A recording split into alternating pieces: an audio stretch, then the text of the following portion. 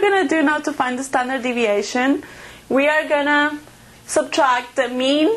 out of each test score and we're going to get the square value out of each one and whatever we get um, for the results each result we're going to add them all up and whatever we get which is 1566.25 we're going to divide it by 9 because it's the number of test scores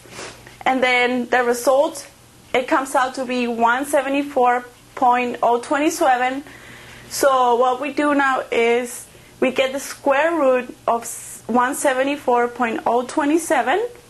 and it's going to give us 13.19 which is the standard deviation